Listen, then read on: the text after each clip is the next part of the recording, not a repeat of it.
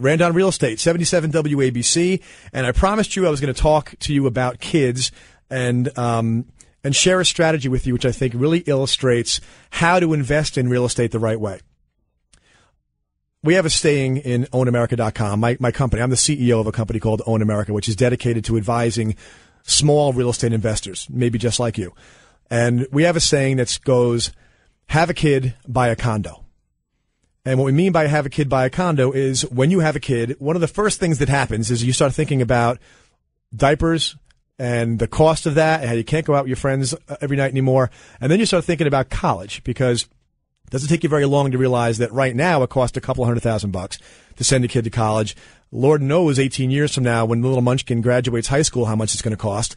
And it's a really, really big bill. And let me tell you, you don't want to stick your kids with student loans if you can help it because the only place in America where there's no pressure to lower costs is in colleges, it seems like, because they get more and more and more expensive, many times the rate of inflation. And I have a niece, my, my wife's niece, wonderful kid, hardworking student, just graduated from grad school and has got 120,000 bucks in debt that right now she's paying $2,000 a month. Now, I don't know how she's going to get out of the gate with a financial future with that kind of a burden on her back. So you don't want to do the loans if you can help it. But how do you do it? How do you secure college funding? Here's what I did and here's what a lot of my clients do. You have a kid, you buy a condo, or you have a kid, you buy a small real estate investment. Now, why is that big? Why is that helpful? Number one is that I automatically have a long-term mentality about this investment. I am not a buyer and flipper. I'm not a get rich quick guy. I'm looking at this for 18 years from now. My objective, not only is it long term, which is, fits in well with real estate, not only um, am I making an investment and holding it and paying it down, but it's an investment that's very, very close to my heart. You know, I, when I get the phone call from the annoying tenant, it's not so annoying because I'm thinking about my kid's college fund. When the, you know, toilet's overflowing and I have to call the plumber in the middle of the night, it's not quite as annoying because the objective that I've set for this particular investment is so important to me.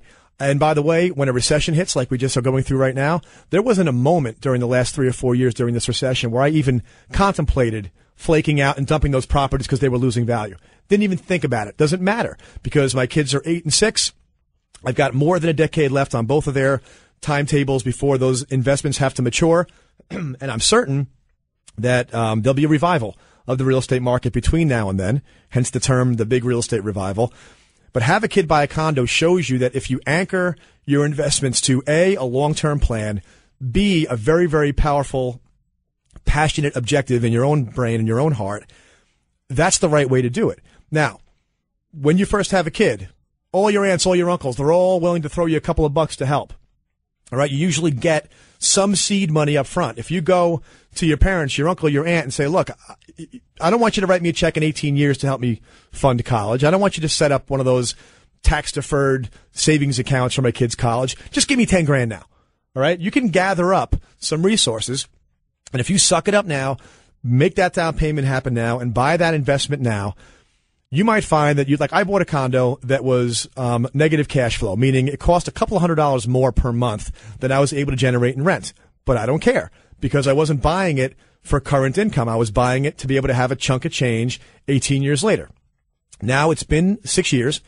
That condo is now positive cash flow. I make a couple hundred dollars extra a month. I use that $200 extra a month to pay the mortgage off faster so I send in more money to pay the mortgage off.